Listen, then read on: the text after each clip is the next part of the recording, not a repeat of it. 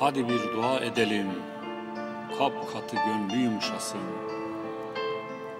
Girsin içine ılık ılık, güler yüzü yumuşasın. Bıraksın kini nefreti, güler yüzü yumuşasın. Sevindirsin yetimi fakiri, mülkü yumuşasın. Açsın ellerini dönsün kıbleye, dili yumuşasın. Koysun alnını secdeye, seccade yumuşasın. Gitsin rükuya, beli ve dizi yumuşasın.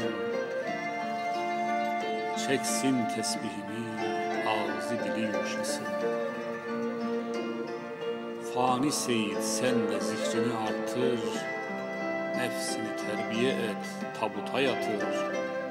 Beş vaktin yanına beş daha kattır, Senin de gönlün